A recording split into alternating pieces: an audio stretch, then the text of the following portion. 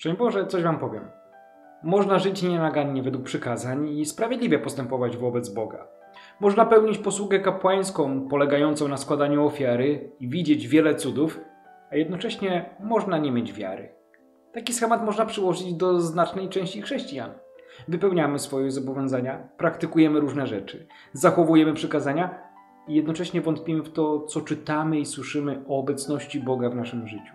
Co więcej, będąc idealnym zachowaniu przed Bogiem, można bać się tego, że On do mnie przemówi. Strach odbiera nam racjonalne myślenie.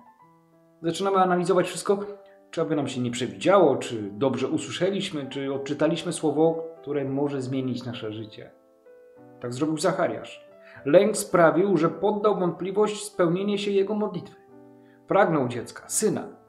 I gdy on został mu obiecany, to w to zwątpił.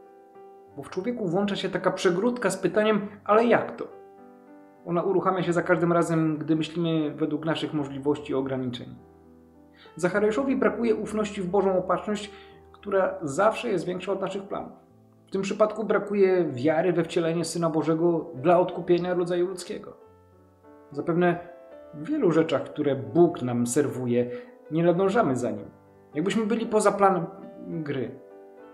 Prosimy o coś, ale w głębi serca nie czujemy, że nasza prośba zostanie rozpatrzona pozytywnie. Nawet więcej, odczuwamy skrępowanie, najpierw prosząc o jakieś ważne rozstrzygnięcie w naszym życiu, a kiedy ma się ono zrealizować, odczuwamy ponownie skrępowanie, bo może jednak ktoś bardziej potrzebuje pomocy. Wydaje nam się, że nasz problem to jednak jest błahostka, więc po co komuś zawracać głowę? Po co się modlić o cud, gdy może sobie sam poradzę bez niego? Anioł Gabriel mówi do Zachariasza: Nie bój się. Mówi to także do nas, byśmy nie bali się prosić o rzeczy niemożliwe. Prosząc o nie, nie traćmy wiary. Żądając znaku, że obietnica się spełni, bądźmy przygotowani na wszystko. Bowiem jak Bóg coś obiecuje, to spełnia zawsze nie w taki sposób, jakbyśmy sobie życzyli, ale w taki, byśmy zobaczyli Jego moc. Zawsze na naszą korzyść. Zapowiedź narodzin Jana z bezpłodnej Elżbiety włącza się w ciąg wydarzeń i innych przypadków narodzin synów z bezpłodnych matek, jako znak, że są oni darem Boga dla swego ludu. Choć przyszli na świat z ludzi, stali się Bożymi posłańcami. I my możemy w tym wszystkim nie dowierzać. Wiele w nas niewiary mimo namacalnego działania Boga w naszym życiu. Często nasza niewiara blokuje Jego działanie. Bóg jednak znajduje sposób, by wykorzystać ją. Anioł zapowiedział dziś, że choć Zachariasz wątpi, to ten cud stanie się faktem. Tak właśnie Bóg działa, by podsuwać nam swój plan przed oczy, byśmy nie czując się przymuszeni, ale w pełni wolności zobaczyli, że dar i sam Bóg są dla nas dobre.